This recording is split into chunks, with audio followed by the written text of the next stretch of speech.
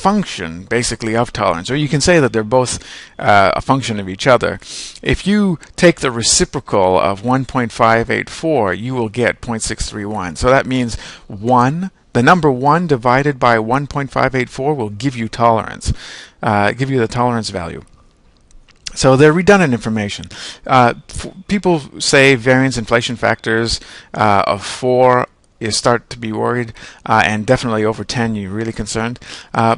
Okay, maybe uh, I, I, have a hard time interpreting. There's nothing intuitive about a variance inflation factor, in my opinion, uh, in comparison to the tolerance value. And tolerance is basically the unique variance, the independent variance associated with the the independent variable, independent of the other uh, variables. So if you regress, if we were to do a multiple regression of the first independent variable djw, if we did a if we used the other four independent variables to predict djw, we would get uh, a multiple r of uh, 1 minus 0.63. So uh, 60 that means that 63% of the variance in DJW is unique. So that's a lot. A lot of the variance in DJW is not being predicted by the other independent variables. Uh, 89%, 0.89 for this independent variable here,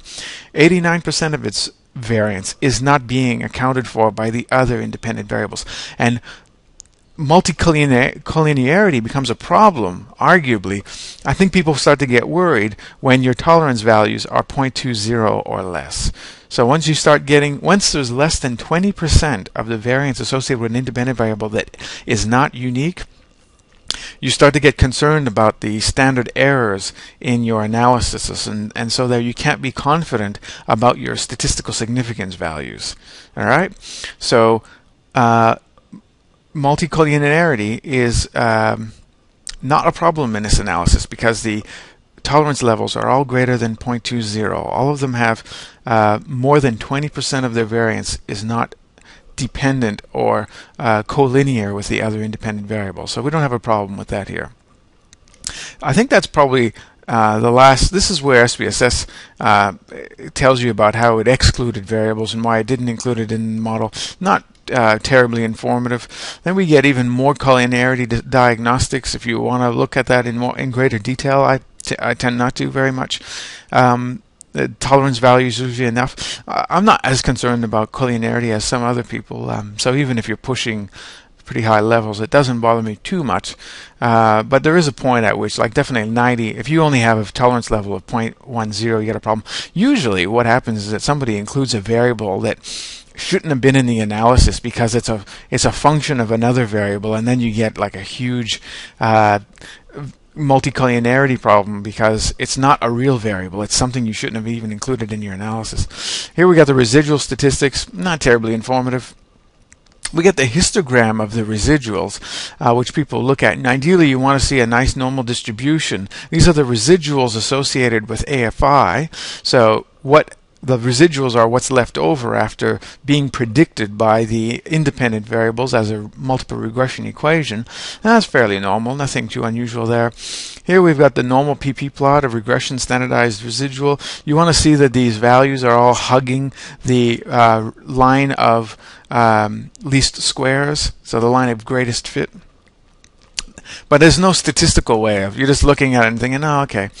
Um, here, though, we've got probably something that's more informative, which is that plot that I created: regression standardized predicted value on the x-axis and the regression standardized residual on the y-axis. And what you want to see basically is random data here. You want to see a bird's nest.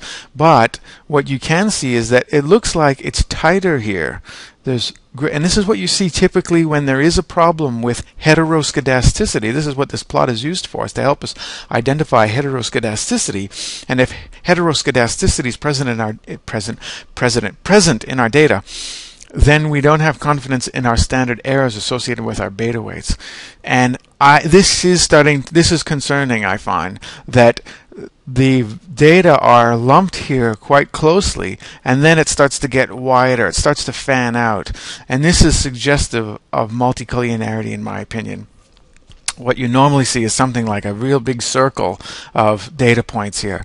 Uh, so I'm just going to I'm not going to examine that further. I'm going to create a different video to actually test statistically significantly using a couple of techniques to evaluate um, heteroscedasticity in data. And I'm also going to create uh, a video where we can estimate uh, unbiased or corrected standard errors associated with this very multiple regression analysis so that I can be confident that what I'm estimating is in fact statistically significant.